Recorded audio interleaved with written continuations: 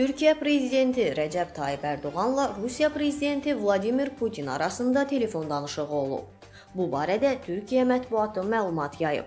Məlumata görə Türkiyənin dövlət başçısı Dağlıq Qarabağ məsələsi ilə bağlı uzunmüddətli sülh yolunda doğru addım atıldığını deyib.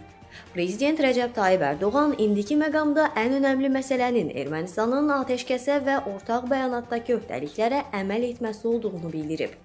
Rəcəb Tayyib Ərdoğan bildirib ki, Türkiyə Ermənistan işğalından azad edilən və Azərbaycanın müəyyən etdiyi ərazilərdə fəaliyyət göstərəcək birgə atəşkəsə nəzarət mərkəzində Rusiya ilə birlikdə atəşkəs üçün müşahidə və nəzarət fəaliyyəti icra edəcək.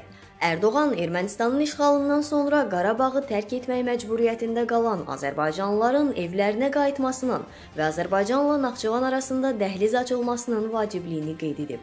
Dağlıq Qarabağ məsələsinin regional münaqişə və böhranların həllində Türkiyə-Rusiya işbirliyinin əhəmiyyətini göstərdiyini bildirib.